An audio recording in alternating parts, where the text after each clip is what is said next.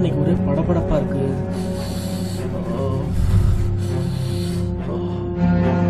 டேய் எங்கடா போய் தொலைஞ்ச?